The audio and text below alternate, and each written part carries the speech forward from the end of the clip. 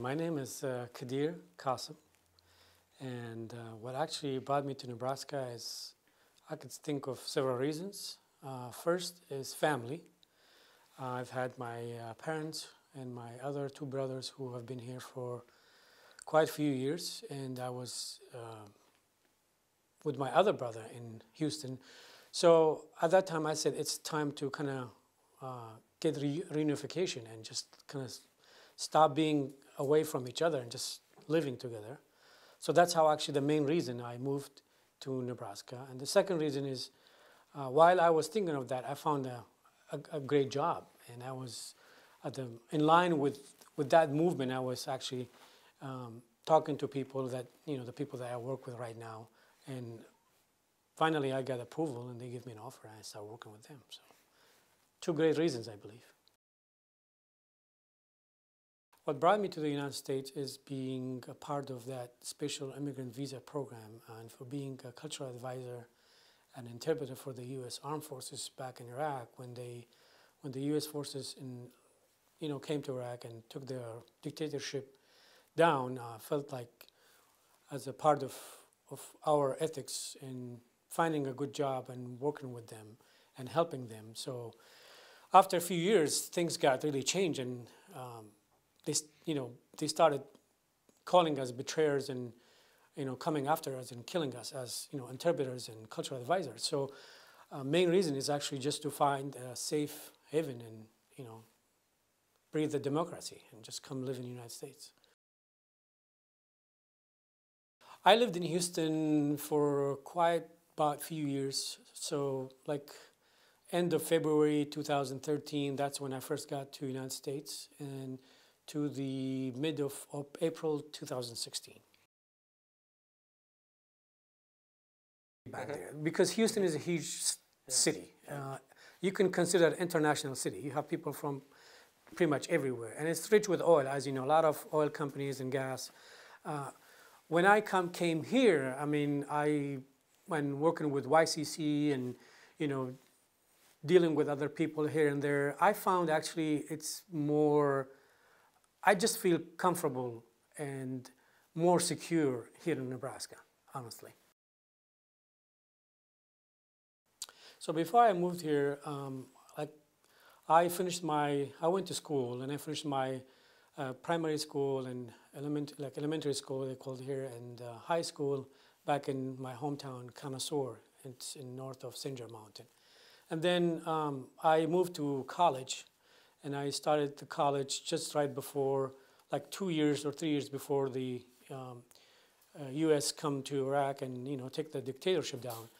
At that time, I was like in third grade, and I um, I started um, almost almost done uh, in 2003. I only have the one year left. I was in third grade, and I mean third year college computer science, and then after all that, you know, I, I, I decided that I need to find a job, and I started working uh, and serving the U.S. military as a cultural advisor and uh, interpreter. So primarily, I was doing that job, and you know, just going back and forth. But and then, for some reason, I couldn't because of the security. I couldn't finish my degree, so I had to actually kind of resign from that job and go back to school and get my degree in computer science. So I couldn't back, go back to the originally to the to the to the university that I first got enrolled, which was Mosul University, because the security was not stabilized, and um, I found this other university in Kurdistan,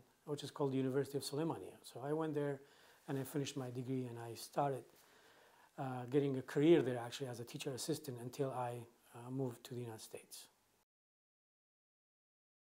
So my job here, um, I just kind of stick with what I know and what I am aware of. So I stick with IT and computer.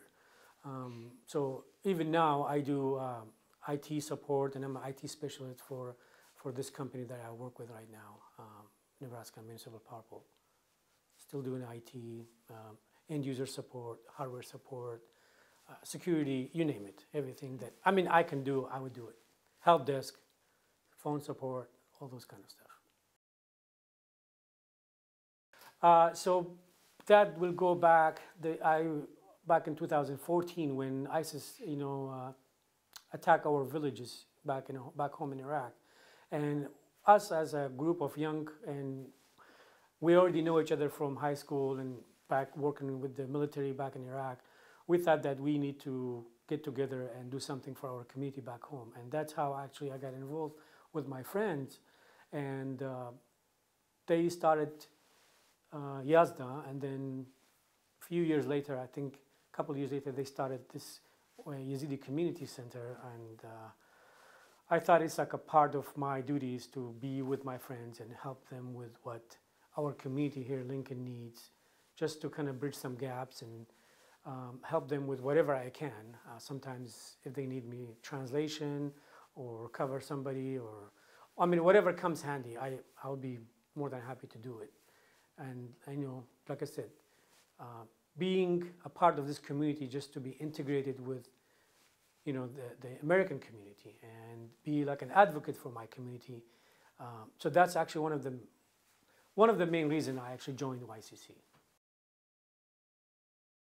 So before I come to the United States, before I even, I had some friends here, they were always saying Nebraska, it's like, it's rural. Like we already know there is a big community lives here, but uh, whoever we talk to is like, man, why would you, why, don't even think about going to Nebraska. It's all like rural areas and it's like in the middle of nowhere. So it's like, okay, well, that was the first impression. That was the stereotype that it's very rural, there's nothing in there, you can hardly find a shop or something.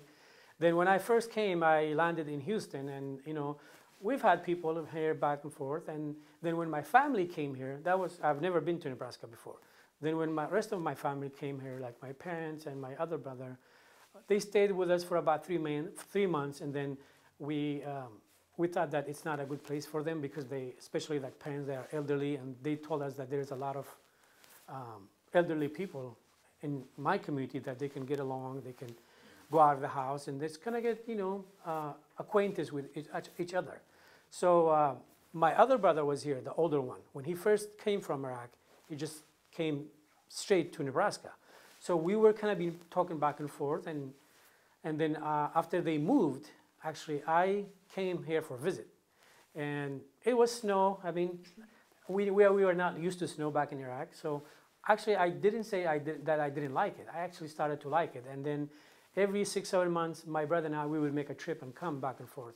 So I started to like it, and that like okay, I love I love Four Seasons, and it's less stressful traffic so like, yeah.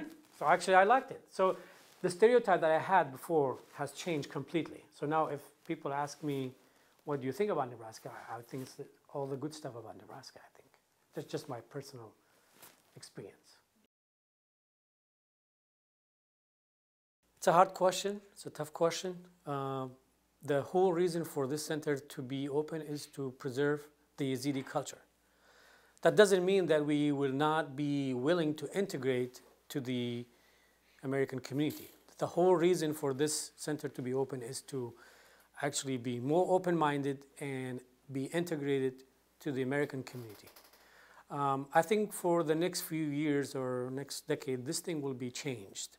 Uh, the people might be more open, and uh, there, I, I, believe there are some already people that who are already dating people from outside the community, which is uh, I mean, no one can actually force anybody not to do something. I mean, if you are 18 years old and above, I mean, that's your absolutely your own decision. Um, but you know, as a part of our culture, in order to be more, like I said, um, stick together and to preserve this culture, we would prefer. I personally prefer that people start dating from their own community and be open-minded and friend with everybody else.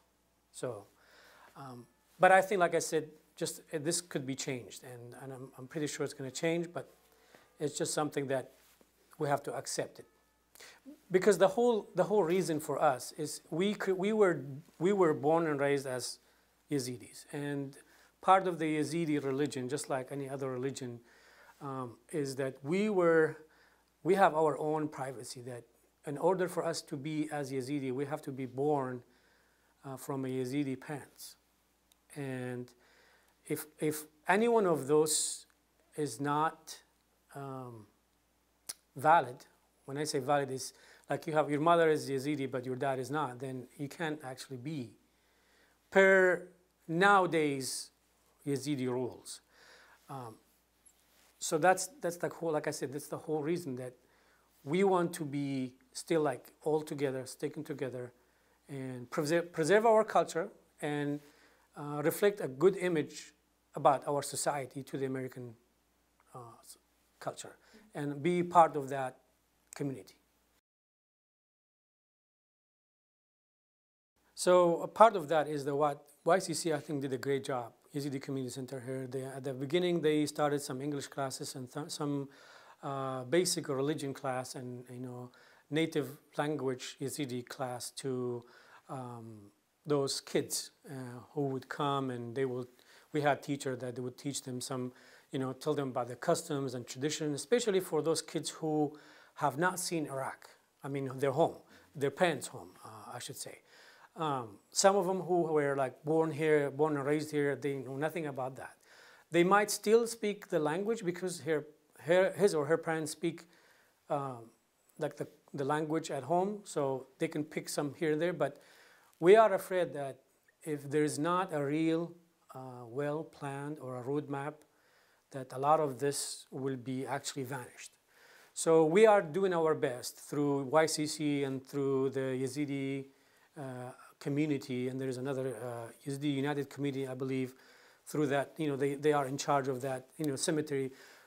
We are trying our best to come up with some other plans, like something that everybody agree uh, and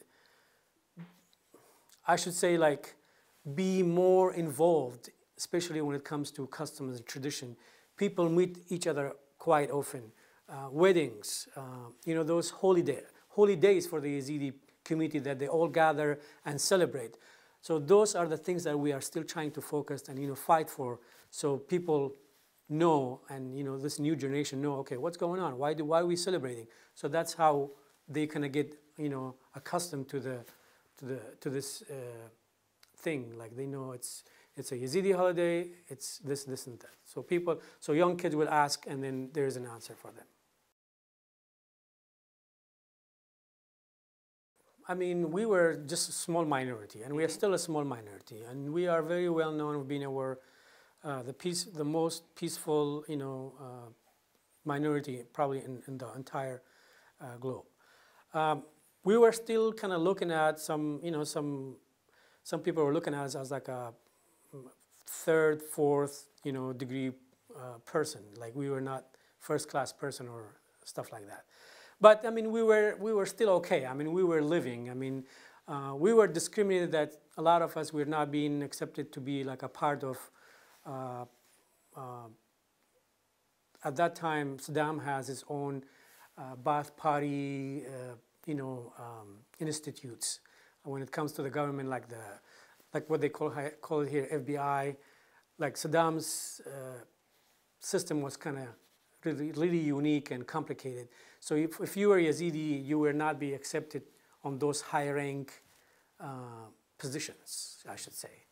Um, but we were okay. Like we were accepted at the colleges. We were allowed to go to uh, do our normal work. But we were still like kind of like an abandoned uh, minority. Mm -hmm. After 2003, we were looking like in a bigger eye that we would be able to engage and uh, get our rights just like any other minority and just like any other uh, Iraqi citizen. You know, being not just be looking at third class citizen or fourth class citizen.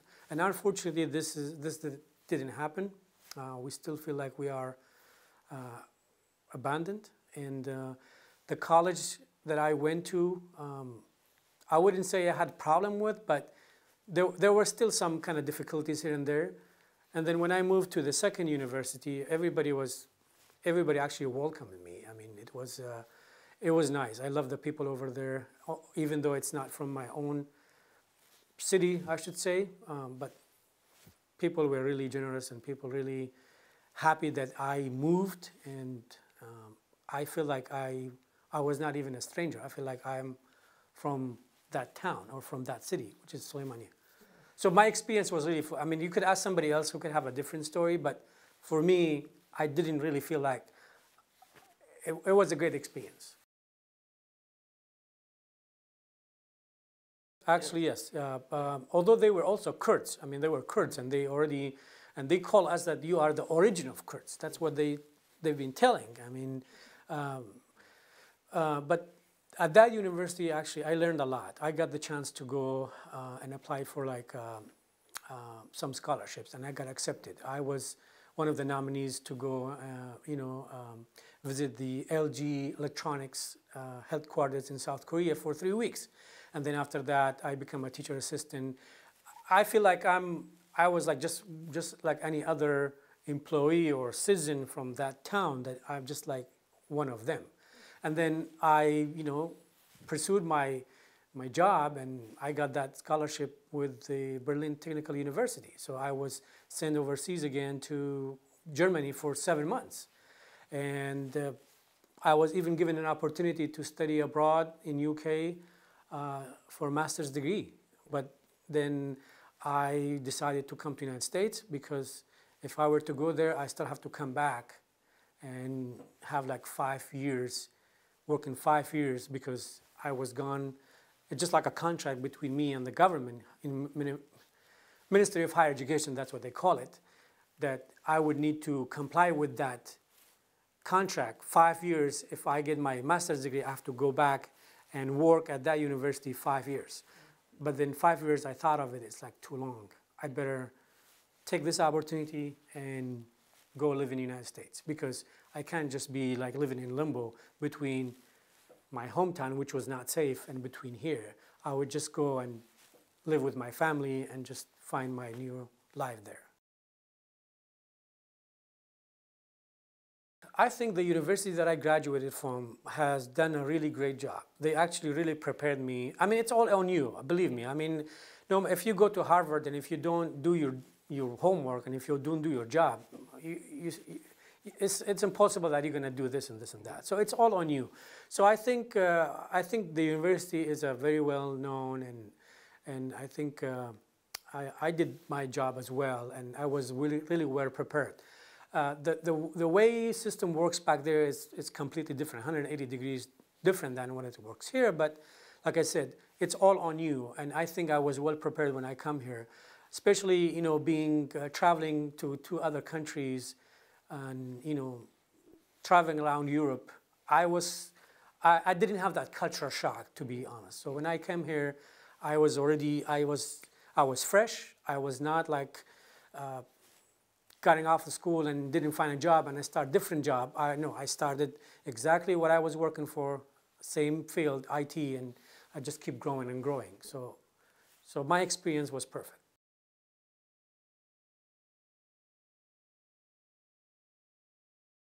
For Yazidis, unfortunately, there's a lot of factors, and I'm not a politician, and I'm not like a, a, a political analyst, analyzer or, or analyst that I can tell you exactly what's going on, but my point of view is like, uh, I think it's just people don't, don't, I mean, they just don't want us to get to that level. Like we are, before ISIS attack our villages or towns in Sinjar, Yazidis, like in, in Sinjar and Sheikhan and Bashik and Bazan, which is those three major areas that where the Yazidis are actually resided. We were close to 700,000 people. So per uh, Iraqi constitution law, that each 100,000 uh, each 100,000 people, you have to have one uh, parliament member. And we didn't get that. Even though we got three or four here and there, but they were not the true Yazidi voice, I think. Uh, they were somehow attached to some political agendas here and there. And they were basically just like employees waiting for, by the end of the month, to get their salaries, to be honest with you. They didn't really do well for their nation and for their religion and for their, um, and that, that's something that, you know, everybody's different. I mean, I think a lot of factors are contributed to that. It's, it's because you are not independent, you're not representing the true Yazidi voice. If we can get some people who would come from the heart of this event after 2014 when we were attacked and who lived all this, all this, you know, drama and suffered a lot here and there, traveling and asking for help on there. If we can find somebody who would ethically, you know, earn people's trust, I think, I think that's how we can actually have some real Yazidi members and representative in the Iraqi parliament.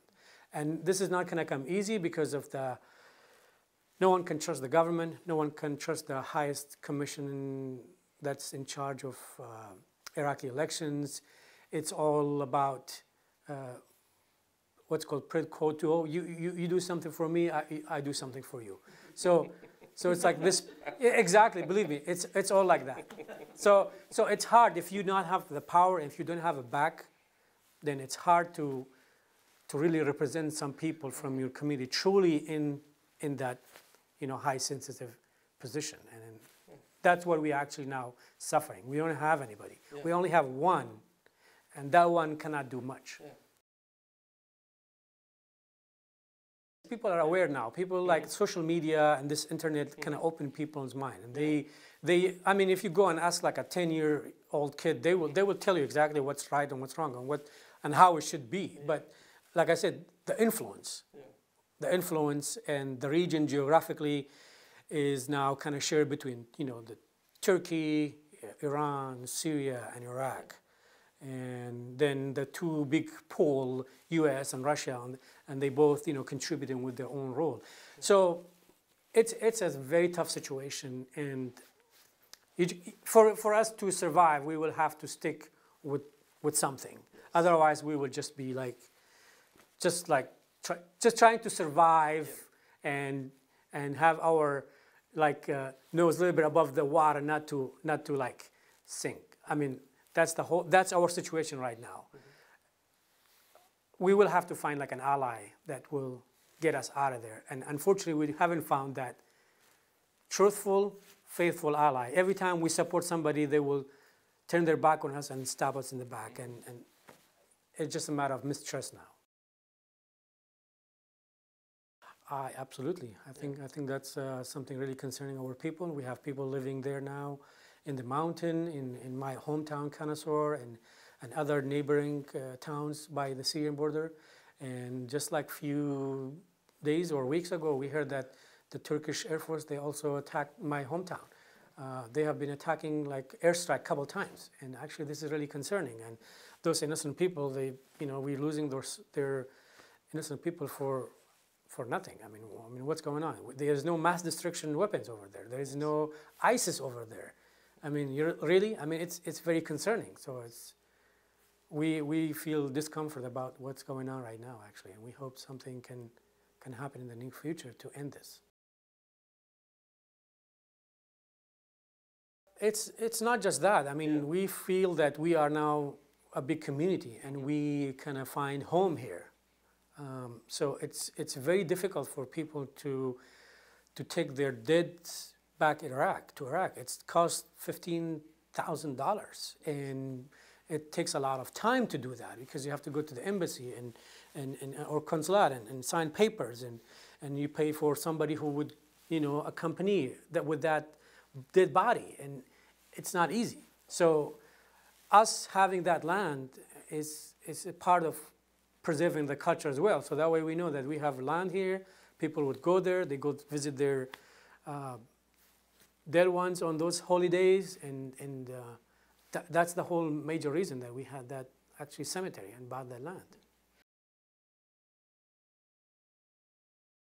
Skeptical, and they were worried about that this land will turn to like a mosque or something that uh, there would be preachers and you know uh, and then they didn't know, they never know about us. I mean, said, no, we are not that type of people. Our people went there and talked to them, and they said, uh, we are just a peaceful community. We just, we, we, we just have this piece of land for our, you know, to be a cemetery, and we have the license and everything, and, and somehow actually they, they, after that, they, after they talked to them, their idea has changed, and, and they said, okay, well, they didn't know about that, and I think since then case was closed. Yeah. So.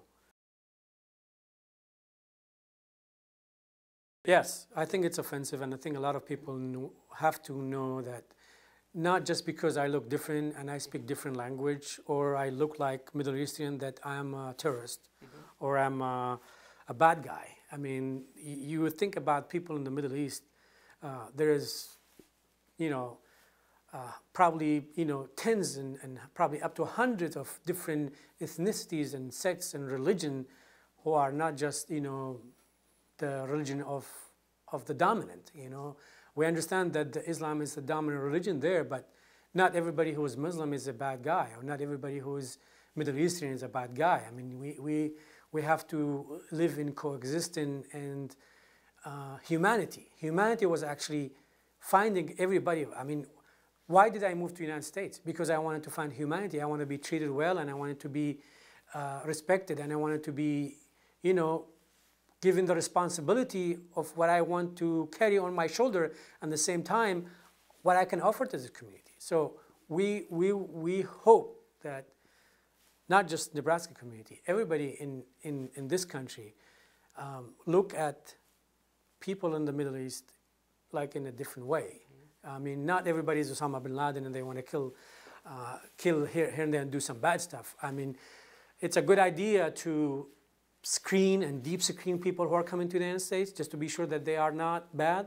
But at the meantime, we hope that they will not make this as a reason or as a, uh, uh, um, something that will stop people coming to the United States from those areas because there's people who have fled the war.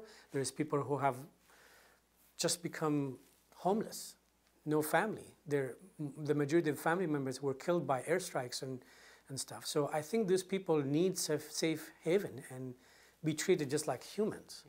So um, my personal ex experience since being living here, since living here in, in, in Nebraska, um, my interaction with people, I think Nebraskan people are very helpful and they have a good heart towards that.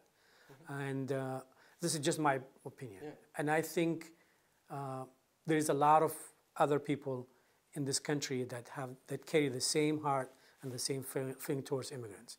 Doesn't matter where they come from, from Ukraine, Russia, from Middle East, South Africa, whatever. Um, I think those people should all stand together and advocate for immigrants because this country is actually built upon those principles that people can come and search for democracy and look for the American dream. Yes. So I, I, believe everybody should give the opportunity at least once to live the, that dream. I, I wouldn't say that I don't, I don't want to return. Mm-hmm. Um, return is always an option mm-hmm. if there is a need and uh, that need will be um, associated with, like you mentioned, security, stability, and uh, some other factors. Um, I don't have any plans at the moment actually to move. Uh, I think I'm good at the moment, but like I said, my options are open. Just just personally me, um, I think it's. I think I can go visit. Like visiting is always good. You grew up somewhere, you always miss those places, no matter what. Uh, especially for elderly people here, I think it's very good for them if they can and if they can afford. You know, it's it's very expensive to to fly overseas and go to Middle East. It's like your your your cheapest ticket could be a thousand dollar. That's if you are very lucky. That's the cheapest. Then, uh, what do you think about when you go on summer or, or some other vacations time, which is two thousand dollar or twenty five hundred dollar? So, so I think it's always uh, not a bad idea to leave that option open and you can go back and forth. That doesn't mean that you are abandoning your community and your loyalty to the United States. That doesn't mean that, but I mean, people. That's one of the that's one of the uh, Second Amendment is to is the life is the freedom to assemble. So if you want to assemble anywhere within the United States and something, I think that's that's a right that you have to keep if you think that you are safe. I wouldn't go right now, like I said. It's not safe. I would not go back and live there. Actually, I missed a lot of things about there. Before 2003, uh, people were just like on those holidays, like which we will have in the next couple of days. We will have our fasting. Uh, the nice thing about those days, even any if I were if I was anywhere, like I was in Soleimani, I was a teacher assistant, and even if we were with the in that military base with the Americans, they would let us go home and have those moments with our family and friends and our community. And I remember like those days, like you, you just go out and just walk, and everybody's like out the streets. They're just walking, and and everybody's helping each other, especially like the the the the feast eve where people kind of share food and happiness and and blessing. Um, I miss those moments actually, and when everybody's in in the town, and your relatives, your friends coming by, you go by, visit your uncles, your aunts, and, and so forth. Um, unfortunately, we, we, I mean, we still have those stuff here, but not as much as what we have back home. So, those one of the things I actually missed.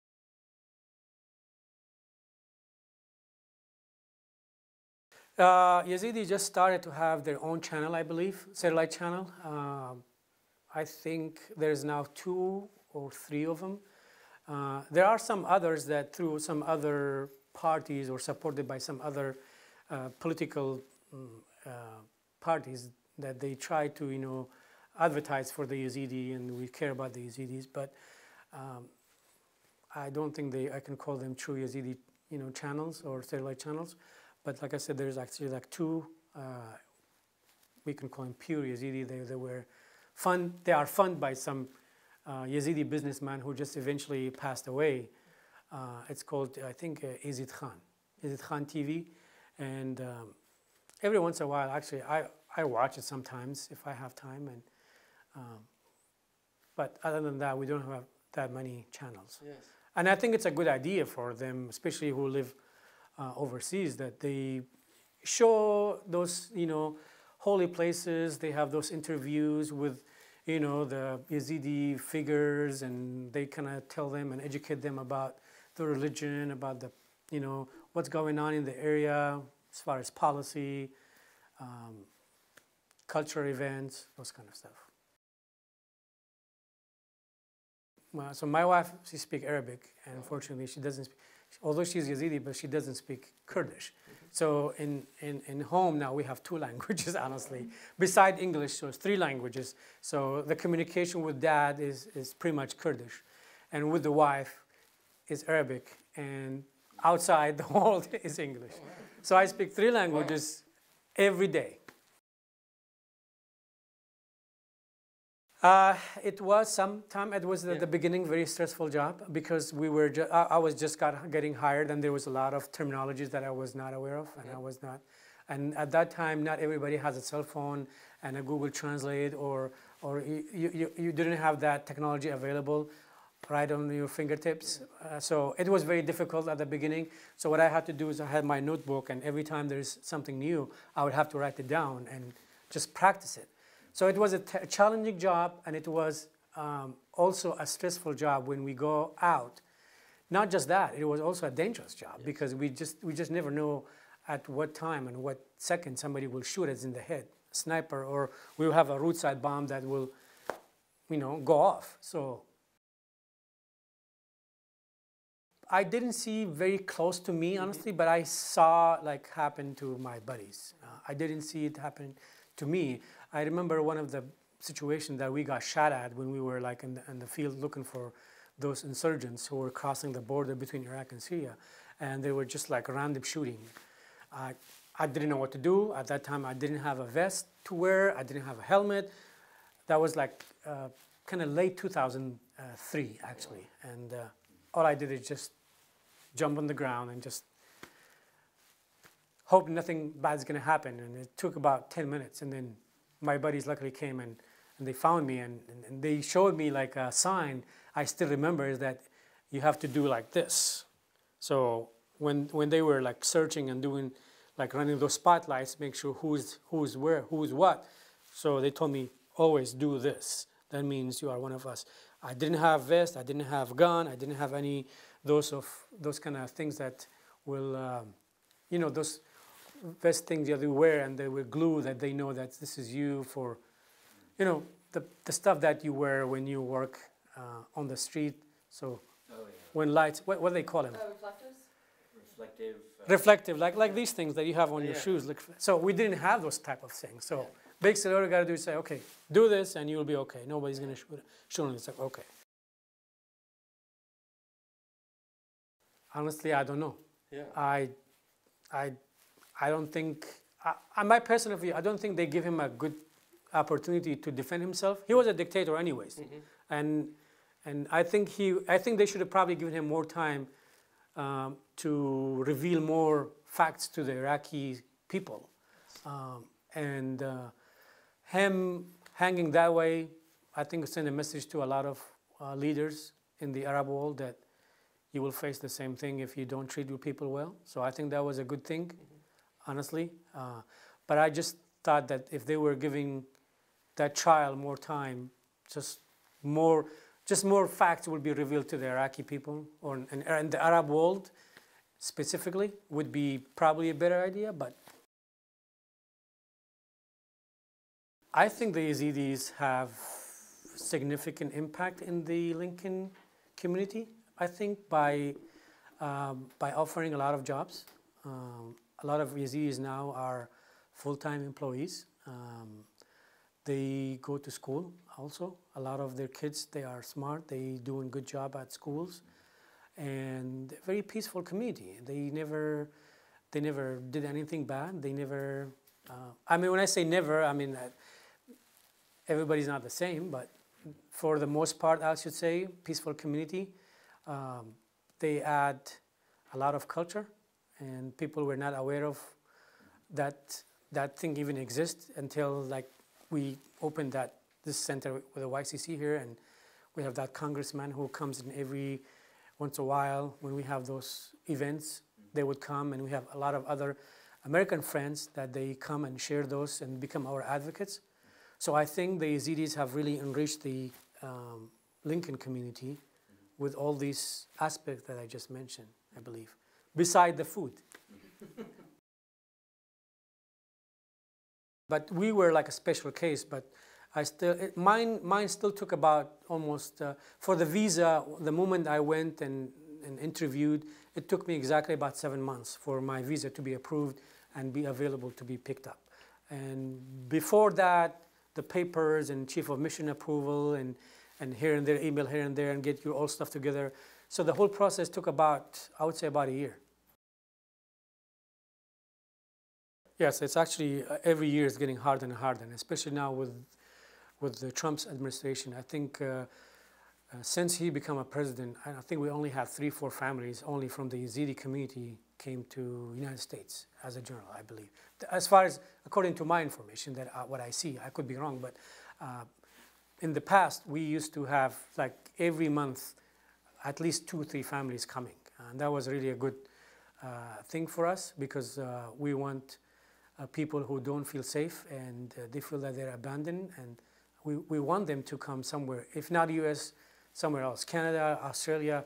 But specifically we're talking about us i think it's more strict now.